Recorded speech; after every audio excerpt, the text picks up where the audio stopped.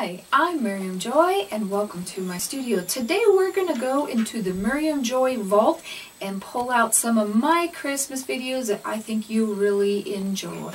Let's get started.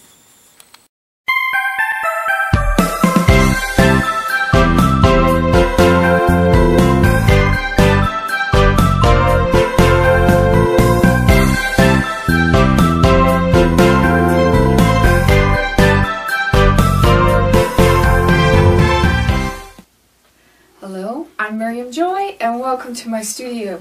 Today we're doing one of my favorite, and I always know I say the favorite, favorite one's always the last one done, but these are really fun. These are my Christmas domes. And these beautiful glass domes are actually a recycled product that we're going to be doing them, and you're not going to believe what they are made of, but they are made out of our soda bottles. And that is what is so great about them. Everybody has soda for the holiday and has parties and everything. So we're just going to take our soda bottles. You want to make sure that their soda bottle that doesn't have any holes or different designs in it, that it's nice and straight. You're just going to take off the wrapper. And then you're going to be left with this white stuff. Now, the best way to deal with the white stuff is run it under the hot water, under the sink, and take a knife that doesn't have um, any serrated parts on it, a straight part, and scrape it off as easily as you can. Try not to scratch the bottle. That's a little bit easier to do it that way. I've done it with my fingernail, and it just takes a long time. And if you do it with a knife, it comes real up real easy. Just be careful not to scratch it. And then the next thing we're going to do is we're going to remove this part, and I actually remove this part with my little clippers, wire cutters, anything like that. Get that part off of there. And then I use my coping saw or some of your jigsaw and you saw right up next to that ridge. And it's going to take a little bit of time and try not to press on your bottle too hard. And I actually leave the lid on. And you want to do this part while there's more stability to the plastic bottle. So go ahead and saw through that and you probably want to turn it as you start to get through and just be real careful when that last part goes. If this was something you were doing at home, didn't have access to the saw or anything, tie a ribbon around it, cover it up, not a big deal, and just go on. Now, I have an extra big bottle to make an extra big dome. This is just the bigger sodas. And then I have a smaller one. And another trick is if they get really bent before you start this product project, run real hot water out of your tap and then put the lid on them and let them sit and that expands them back out. Just fill them as full as you can and also at the very end if you need to blow a little bit of air into it to make it pop out and then seal it up while it's nice and full and leave it set for a while and that really helps warm it up and get rid of the dents. Now I'm going to take my sandpaper now that we've cut the top part off and we're just going to sand this down. And I've still got nicks and stuff in my soda thing. I'm not going to worry about it. There's snow can go up on the side and it can help it really look like it's snowing inside and cover that up. And most of the time you can't even see. It just beats going and buying these very expensive domes. I think they start around $8 and can go as high as 30 or 40 So that's what's so nice about it. It's already something we have right in our house that we're going to throw away. Now see the writing on the dome? We're going to remove that with our fingernail polish remover. Just a tad. You don't need very much at all. Gotta watch out for my cracks here. I've been doing so many videos. I've got cracks in my fingers. And just come on off there. There, it's starting to come. And if it has any other writing on it, make sure you look at that and see. Sometimes there'll be one lower. There's a white one right there. I think that's not going to show because we're going to cut some of this off. So you have a line right here that's naturally there in the cans or the soda bottles and it's on pretty much all of them. And you could cut it there if you wanted to. I want to go up a little bit on mine and I find it easier if I have tape on it anyway to help me. And I'm going to tape up against this line to give me a straight line on the next level going to be the hard part And it's just, I'm just using painter's tape. You can use whatever type of paint because we're not going to use this bottom part. And actually, uh, for this bottom part, I am making poinsettias out of them. So come on over and check that video out. I think they really turn out cute. And it's just the bottom of your soda bottles. Alright, so we're going to Put that there so we have a nice clean line all the way around. And I'm going to start with my hobby knife. I'm going to cut into it to get me going. Try not to bend your bottle.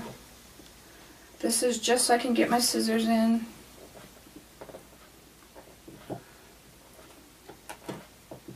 Okay, and I'm going to use my little craft scissors. if I can find where I started it. I thought I started it there. On that line, okay. And we're going to cut right at the top of our tape. Try to keep that even. Try to stay right on top of that tape. I've already migrated a little bit above that. Try not to do that. Just keep it as even as you can.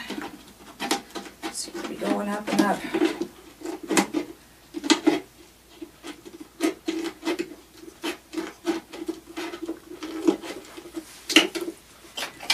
Switch to a little bit bigger scissors here.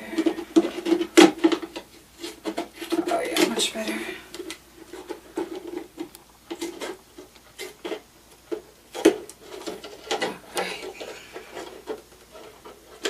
Remember, this part. Okay. Now, I'm going to look at that, and that's not sitting too badly on the bottom. If there's any of these that you absolutely did, they're sticking out, just trim those down.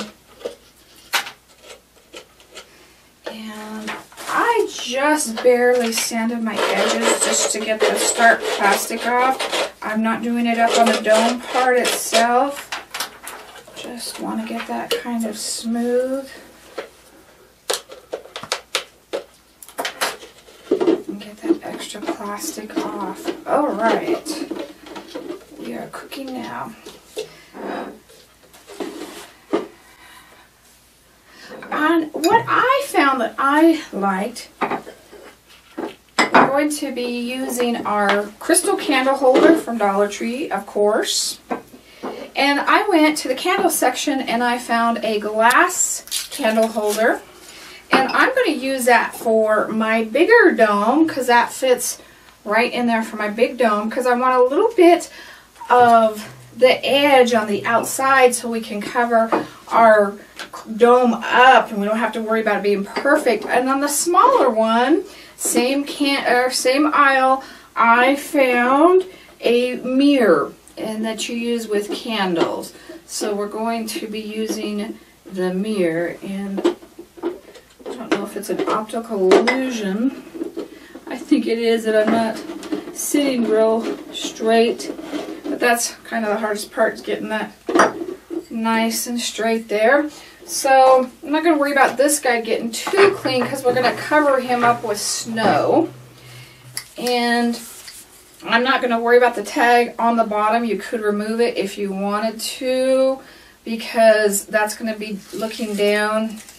I don't think people, unless you're having a wild holiday party, if you are, bite me on over, should be looking at the underneath of it, unless they're upside down.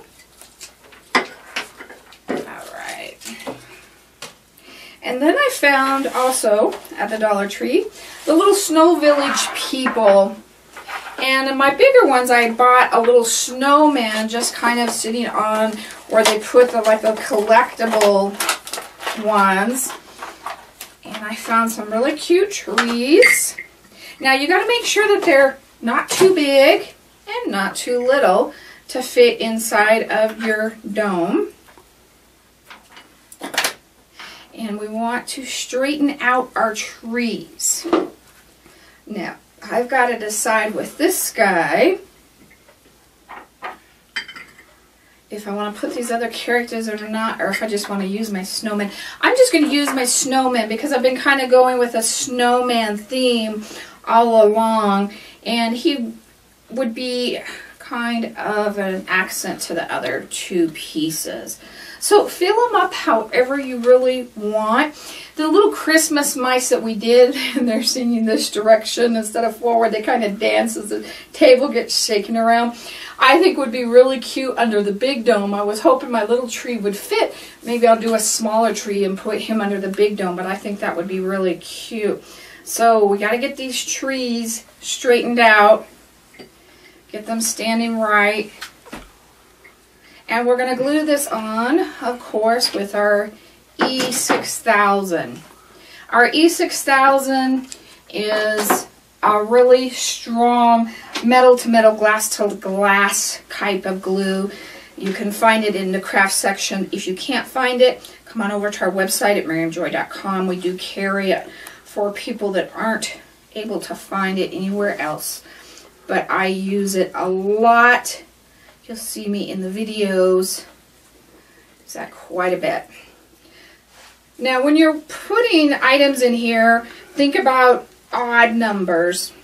We always try to think even, but nature is odd, so we want to try and put things odd. I've got to bend that tree a little bit there. He kind of popped back out. If you slide your glue around, don't worry about that. We're going to, again, we're going to put that snow on top of him so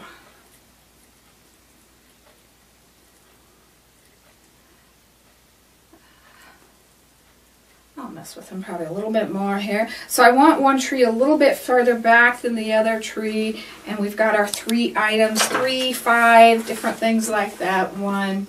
Now while that's drying a little bit, you want to also make sure that your lid fits over that. That's not too close to the edges or anything like that. Might slide these guys just a tad. Okay, now we're going to clean our dome out.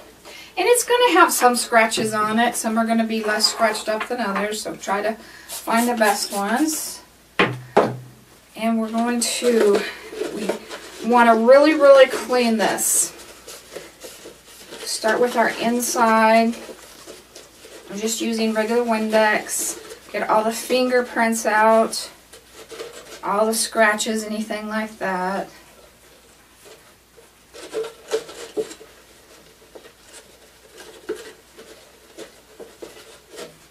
Okay, and then we're going to do the outside.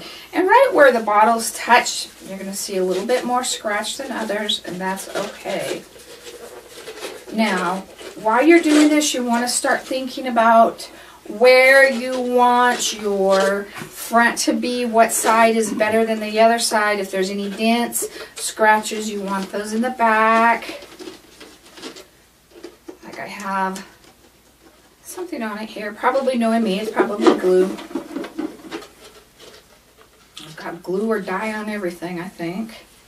So we're going to kind of Look at all that. And you also have the two creases on the sides, so you want to try and not run those right down the center of your design. So once I've kind of got it all clean and got it ready to go, this is really a fast pro project once you get that beginning part done. if you do more than one, do it at the same time. This is my E6000. There's nothing like using the last little bit in the tube.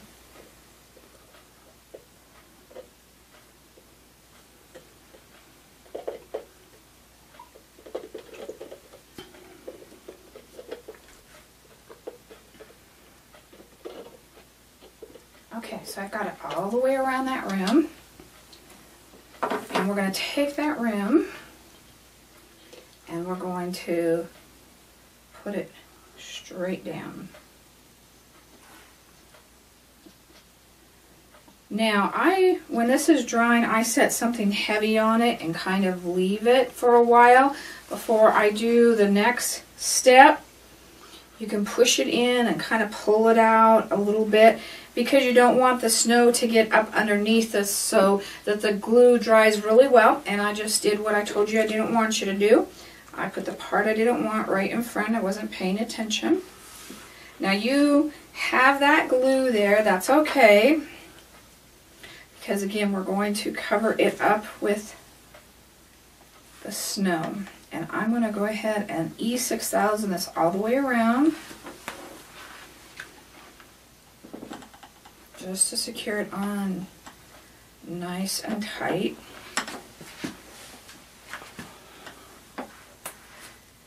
And I think these would be really cute on a mantle.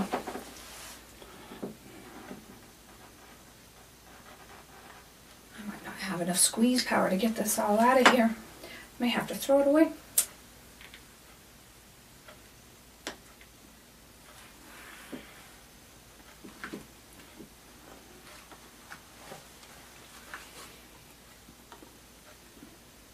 And all the way around. Okay. I got a little bit up here. I do not want that there because that's going to show a little bit above my snow. I'm going to try with my Windex first. If that doesn't work, we'll use our polish remover.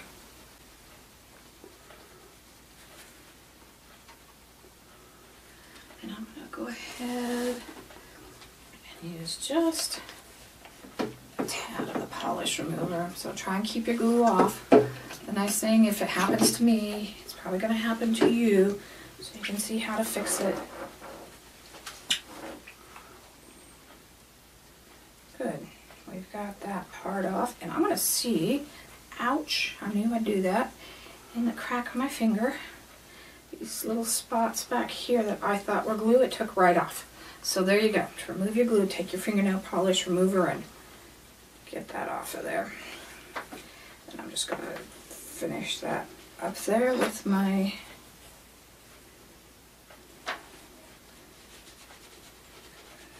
I'm getting into it with my paper towel. Okay, we're not going to worry about that right now because I just keep making it worse. What we'll do is even kind of slide it around right there. Now, we've made a mess down here. And what we want to do anyway is just take our finger. You want to leave that seal up there. I know I've kind of messed with that seal as much as you can.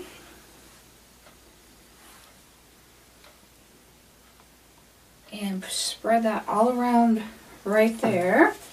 Because what we're going to do is we're going to come in with our snow now. I'm going to try to not make too big of a mess here. And I will. I'll have snow everywhere. So I don't want to pick this up and mess it up right now. And this was just called the Buffalo Snowflakes. I found it at Walmart. Um, it was 250 and it goes a long, long, long, long, long, long ways. I haven't even used half the bag yet and I've done several projects with it. So the first thing we're going to do is we're going to put some along the edges and if you need to pour a little bit out onto your paper and put it on with your fingers, as long as your fingers don't have too much glue, or if you want to be brave and pour it around, what I did is I cut a corner of mine out so that I could pour it on my projects. Now make sure you have this positioned and don't mess with it.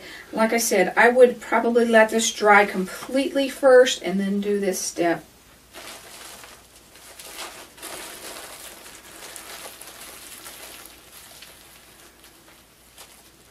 We don't use hot glue on this because your uh, surfaces that you are working with are not porous and they're going to come undone. They're just going to pop right off.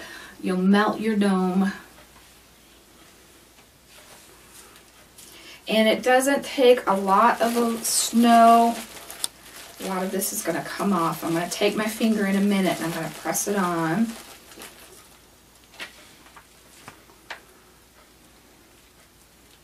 I never knew there was buffalo snow. I've never looked at it before. But this is that, I will keep referring to it as the holiday spirit sparkly Christmas snow. You could use whatever kind you like. Okay, so now we've got that all the way in. Now the next thing we're going to do is we are going to pour the snow into our dome.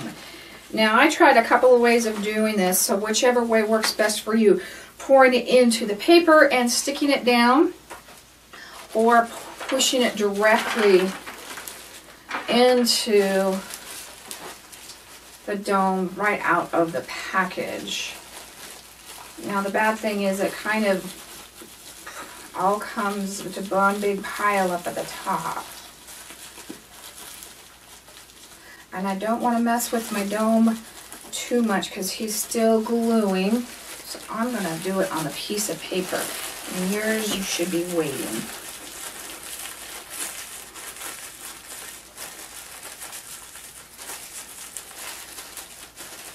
And you stick in as much snow as you want. I want enough that it looks like snow and that it looks like all the glass is covered up so you don't see the glass at all. Now it's going to come into a pile at the bottom of this and once your dome is dry, if you've already waited till then, you can pick it up and shake it so you know how deep it is or how much you want in there and you can add as little or as much as you want to.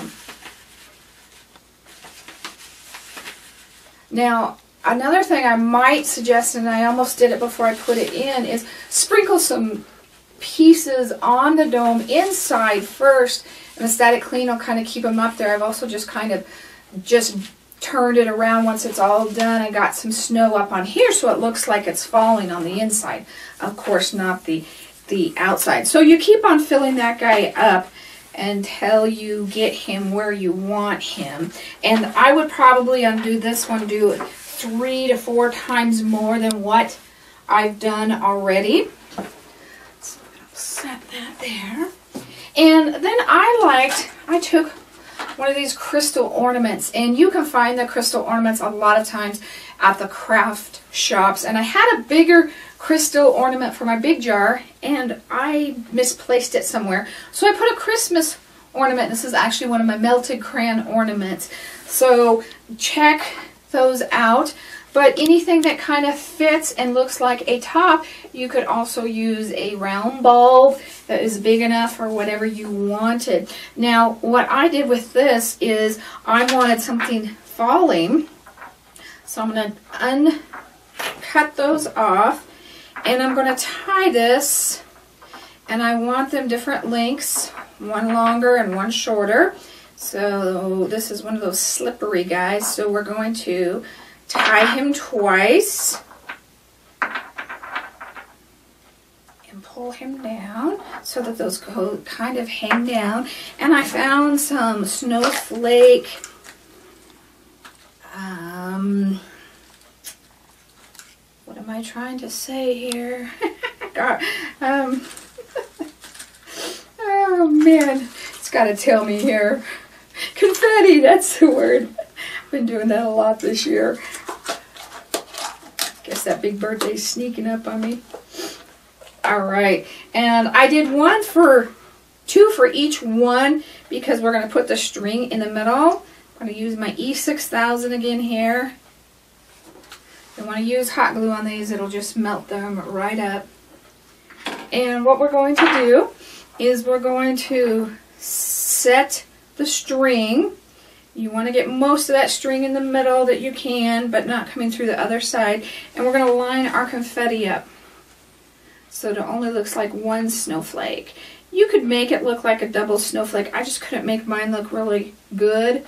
So I just line them straight up. And, of course, I stick my hand straight in the glue. And the second one. And it's not going to keep these guys from unraveling anymore. So this way we look like we've got the snow falling as well.